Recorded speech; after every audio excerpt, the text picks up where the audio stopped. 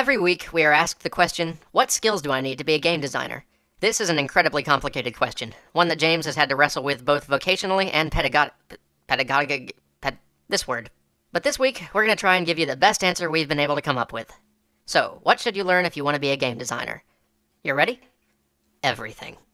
Seriously, game design is the art of crafting experiences, and you'll find yourself drawing on everything you have. To a great game designer, there is no useless knowledge. But not all of us have the time to learn everything that ever was or will be before starting to design experiences, so what should you focus on? Well, first, you can start with a game designer's single most core skill communication. As you start to build games, most of you will find that you have to work with interdisciplinary teams, teams formed of people with radically different skill sets and backgrounds from you. If you work on video games, you'll have to work with artists, programmers, designers, producers, sound guys, marketers, and business people. If you can't communicate the experience you're trying to design to each of these groups, the quality of your ideas will not matter because these are the people that translate those ideas into an experience that reaches the world. The tricky part here is how different all these people are. I know it's a horrible generalization, but I'm going to say it anyway. Artists and programmers have a totally opposite, diametrically opposed way of approaching problems, and it's your job to make both of those people share the same vision.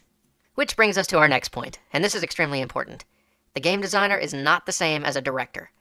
Your job is not to be a dictator, demanding people to implement your brilliant ideas. Everyone who touches a game influences its design, even if you don't intend for them to. When your programmer writes a physics system, the choices he makes are going to impact the design of the game. Anyone out there who thinks that the designer is the guy who gets to decide what the game is has some serious disillusionment ahead of them before they can excel at this job. Speaking of common misconceptions, here's another important tip. Game design is not the job of creating fabulous stories or coming up with concepts for games. Concepts are cheap. Every one of you budding designers probably have five or six you could pull out right now. Even if you don't want to get into game design, you've probably come up with one or two game ideas over the years. Hell, I'd be a terrible game designer, but even I can come up with two or three. Not only are game concepts cheap, but they're also pretty meaningless. At the end of the day, the best selling franchise of all time is about an Italian stereotype and hallucinogens. One of the most lauded concepts of the last few years was first person shooter, Ayn Rand, underwater. Go. Real game design is a lot of hard, rote work, creating systems, mechanics, and levels. Concepts are great, but if that's what you want to do, you probably better find another field. There just isn't any room in the game studio for a specialized idea guy. Every game studio is full of idea guys. I mean, everyone who works there has ideas. Good ones. What studios are looking for are people who can make those concepts a reality. Another important thing that every game designer has to learn eventually is that you are the worst judge of your own games. Especially early on, when you can justify away the flaws, it's easy to fall into the trap of saying that people just don't get it because they haven't seen the finished product. This is almost never true. Introspection and the ability to take criticism are core designer skills. Don't let yourself get too attached to your ideas, because you'll always be wrong. No great game has ever, ever sprung fully formed from a game designer's head. Games need players. Players themselves design half the experiences they play. Being able to accept that your idea didn't work, to be willing to give up on that idea you loved so much because it just isn't working, and try something else, these are the hallmarks of a great game designer. Next, game design is a discipline. Just because you've played a lot of games or a whole lot of a specific game does not mean you're prepared to design games. Most of the time, designers don't play games, they study them and analyze them. They deconstruct their systems and test all their breakpoints. A designer will figure out where all the triggers are located, and then try and figure out why. They'll reverse engineer the math behind the principal systems.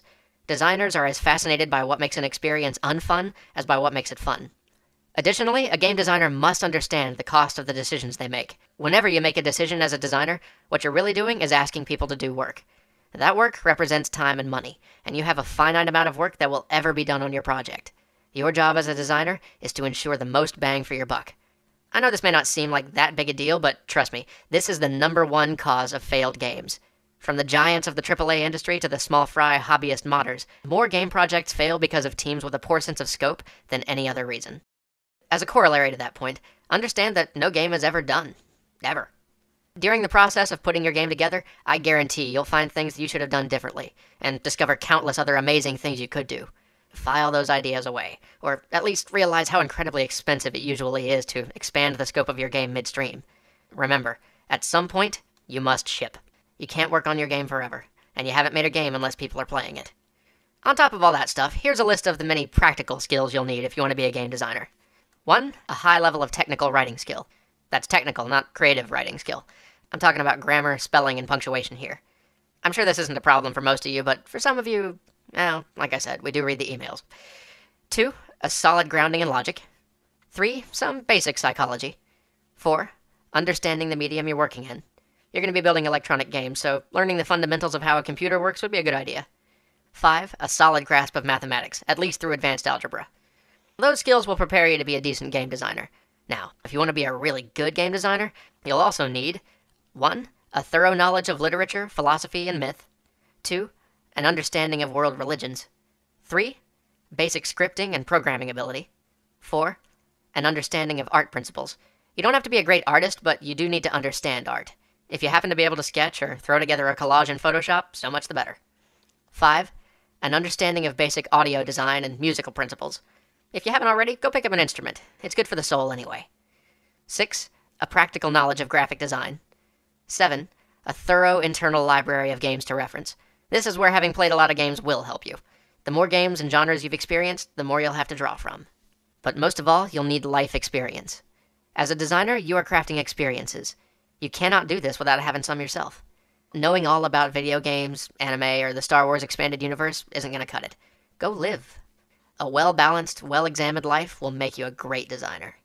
Last and most obvious of all, make games. If you aren't sure where to begin, you can always start with pen and paper games, things you can put together out of chit and poster board. Or if you're dead set on jumping right into electronic games, we recommend Game Maker for the PC owners, or Game Salad if you've got a Mac. Both of these programs are free, have a low barrier to entry, and will teach you the logic of a computer without expecting you to already have a lot of programming knowledge. Be brave, be bold, create. Bring us new experiences and help to expand the language of games. Good luck, and see you next week.